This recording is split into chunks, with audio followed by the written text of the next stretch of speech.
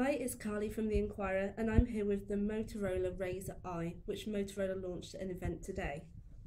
The standout thing about this phone is that it's the first phone to come powered by a 2 GHz Intel Atom processor. While that doesn't sound all that impressive on paper, um, Motorola have told us that it's twice as fast as the leading dual core smartphones on the market and hinted that it may be faster than the iPhone 5. However, the first thing that you'll notice about the handset is its design. It's extremely thin at just 8.3 millimeters thick and it feels really light in the hand at just 126 grams. You'll notice like the older Razr handsets, it's also got a Kevlar backing. This is the same material used to make things such as bulletproof vests, so Motorola assures us that this handset is protected from pretty much anything. This also adds to the lightweight feel of the handset as it's much lighter than aluminium. The screen also comes coated in Corning's Gorilla Glass, which means it shouldn't get any scratches either. And the whole handset comes equipped with a waterproof coating, so you should be able to drop it in the sink, pick it straight up and use it again.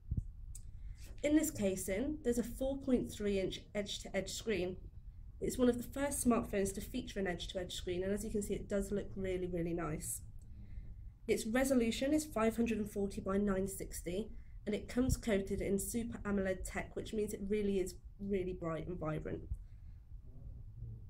In terms of software, the phone's running Google's slightly dated Android 4.0 Android Ice Cream Sandwich software, but Motorola told us that an update to Jelly Bean will be coming in the near future. As you can see, it also comes equipped with a custom user interface from Motorola.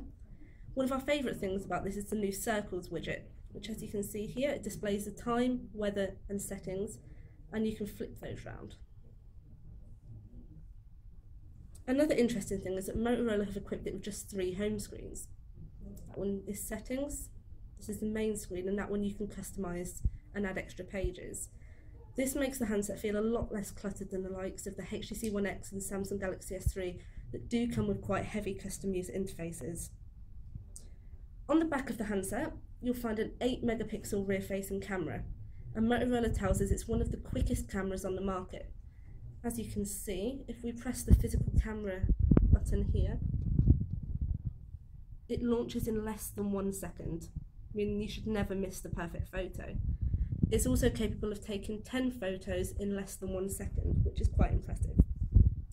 Other features include a, VGA webcam on the front of the handset for video calling, and there's a 2000 milliamp battery under the hood, which impressively Motorola claims can last 20 hours of talk time, making it one of the best on the market. We'll be putting the Razr i through its paces this week, so check back for our full hands-on review.